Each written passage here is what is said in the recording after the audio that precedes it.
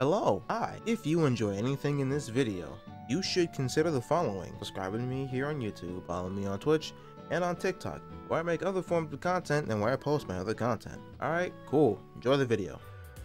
Oh no, no, like, okay, so, okay, okay, uh, quick, I, I don't, actually, I don't think you've heard this story before. So, not so quick, but also quick story time before I actually end stream, right?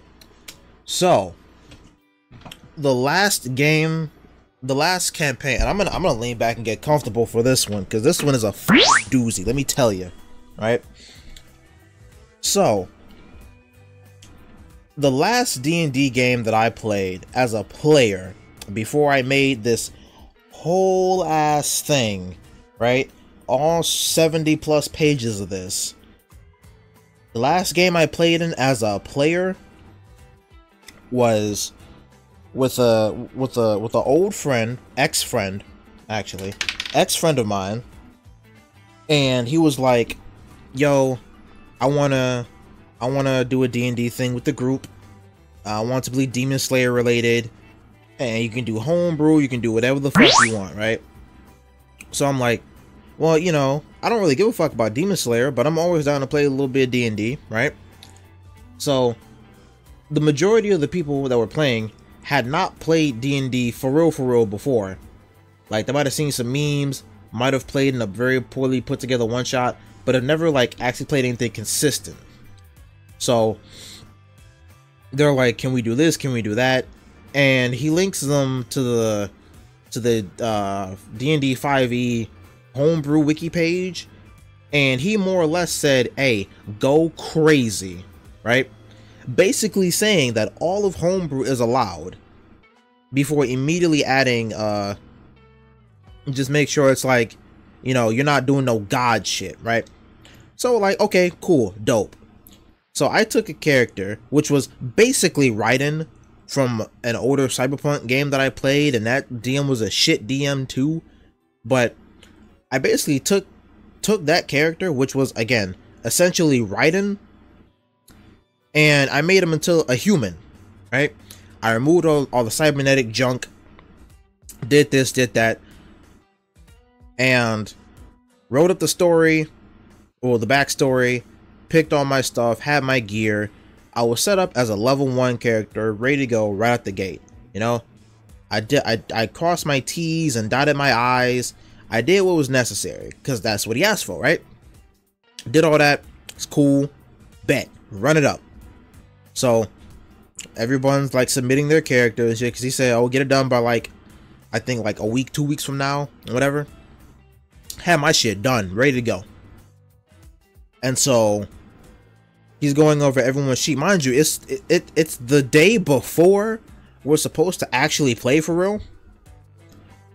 And he's going through people's sheets, and some people in the campaign were just straight up like descendants of like Tanjiro and Mitsuri and all them like actual descendants of the of, of, of the main character side characters from Demon Slayer like dead ass right?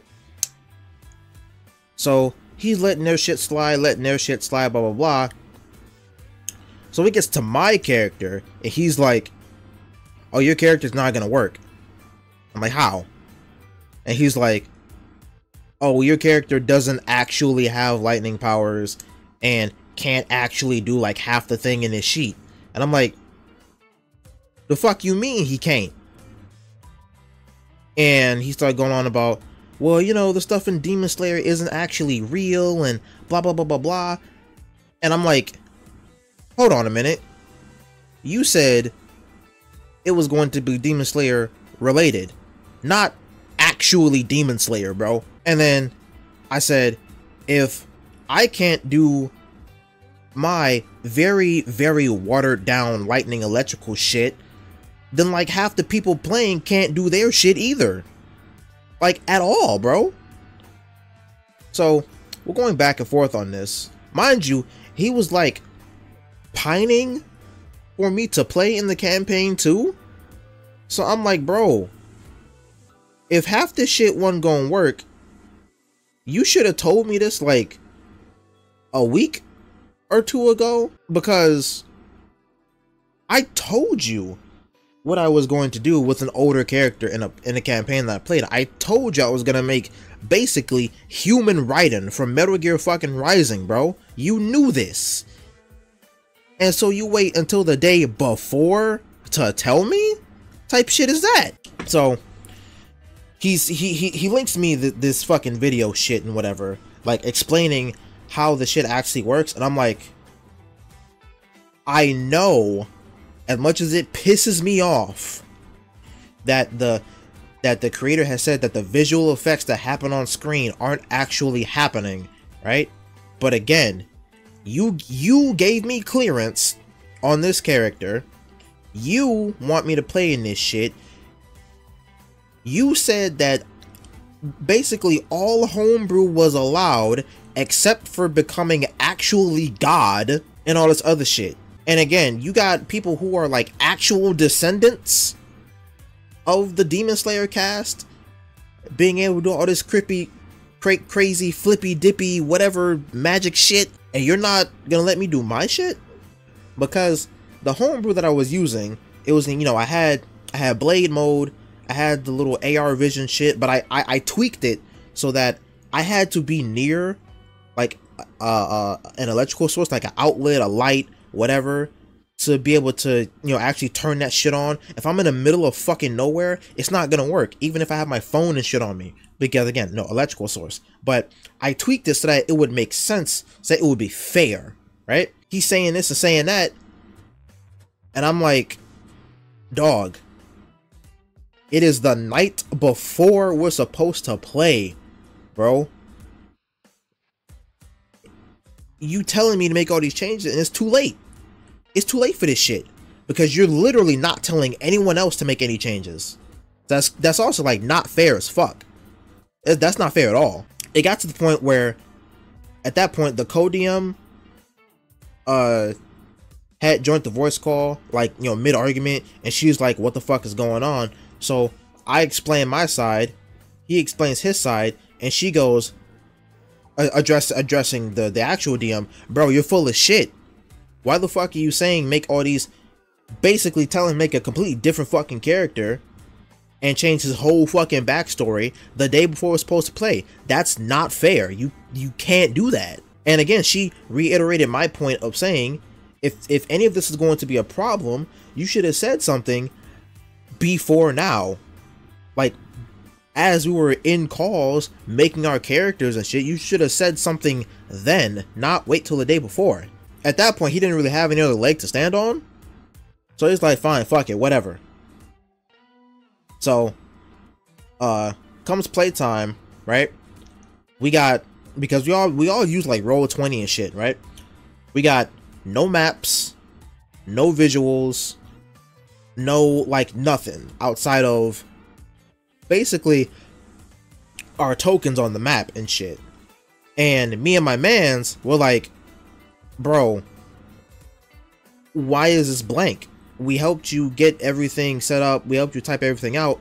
Where's all the maps we gave you? Where's all the assets and shit that we explained to you how to set up? Why is this blank? And he goes, oh no, it's going to be theater of the mind. And I'm like, uh, theater of the mind is not a very good idea for people who have actually never played D&D before because you also got to keep in mind again I'm telling you, you also keep in mind we're playing with people who are like visual learners and can better pay attention when there's something to look at on screen.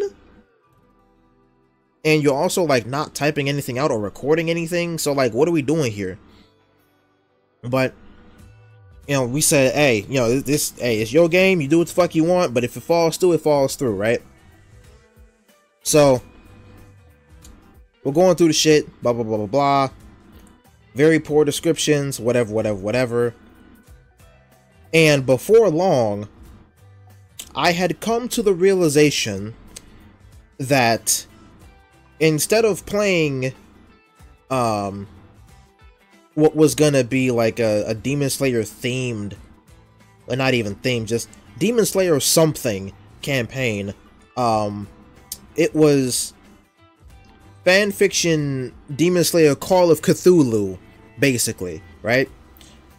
And I mean like shit was shit was irrationally difficult. Like the the the the, the stat checks were way too damn high for a bunch of level ones. Uh, he's talking about, uh, oh, if you fight that thing, you're gonna die. Mind you, we didn't have a session zero at all. It was just full send from minute one. And he's like heavily discouraging us from doing this and doing that, even though he said that it is perfectly okay to have in our backstories that we may have a couple of demons under our belt already, right? It's him going, no, you can't do that. That never happened. Blah, blah, blah, blah, blah. If you fight that, you're going to die. You shouldn't do that. And he spared no no moment saying that, oh, I'm going to take your lowest roll or your lowest stats and I'm going to use them against you, etc., etc., etc.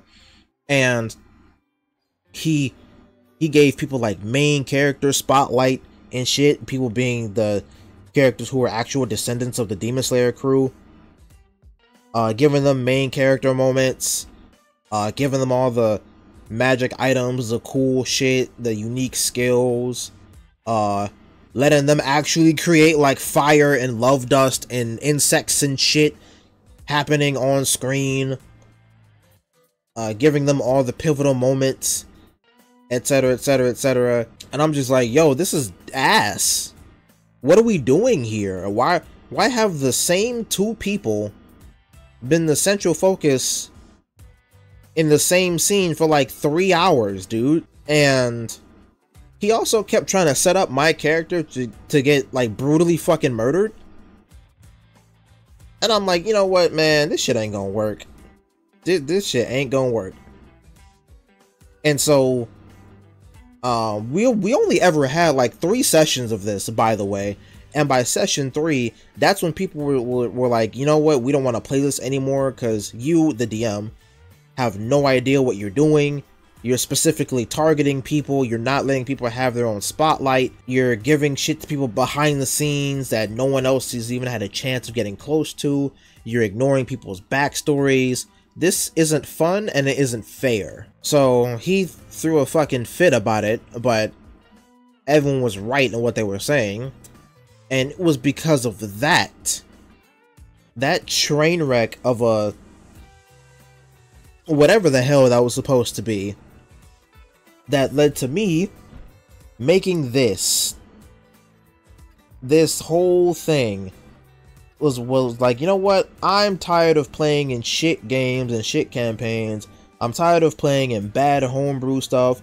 I'm gonna take the time to sit down and make my own little thing with a story that can go in any direction. Granted, it's always gonna start the same, but it can go in any direction. Classes, unique gameplay, whatever, whatever.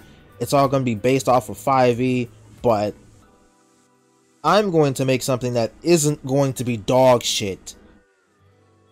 Because that thing that I just got done talking about was dog shit. And I refuse, refuse to play in anything close to that ever again. Yeah, it was the, it was the last nail in the coffin for me being fed up with uh bad homebrew campaigns. I was like, yeah, fuck it, I'll make my own. And I did which again, the all of the first iteration of the campaign is currently uploaded on YouTube in a nice little playlist. It's like 133 hours, and it hasn't ended yet because, you know, life stuff caused it to go on hiatus. But it will finish at some point. But again, that's version 1. I've I've ran this with like six, about to be eight different groups by now. And shit is nice. Because I've taken things that I've witnessed from really bad DMs. And I've taken things that I've witnessed from really good DMs. And I'm like, yeah, I don't want to be a bad DM. I want to be a good DM. I want to make sure people have fun. I want to make sure people shit is fair and balanced. I want to make sure everyone has their spotlight in one way or another.